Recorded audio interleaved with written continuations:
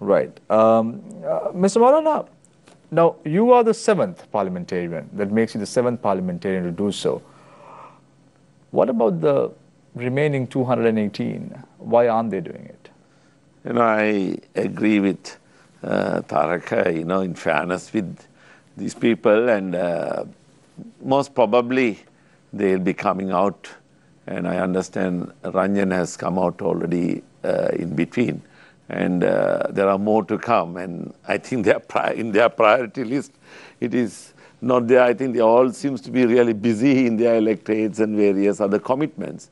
But definitely, when I'm so happy uh, through your media also giving a lot of publicity and also uh, the coming out and publicizing their, uh, you know, asset declaration is going to make everybody more to come.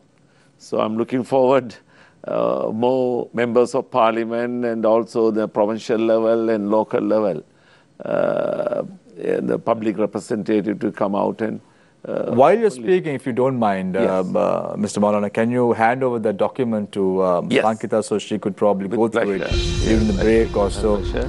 In handing over to you. Thank you very much. So you can check the veracity of it uh, in the meantime.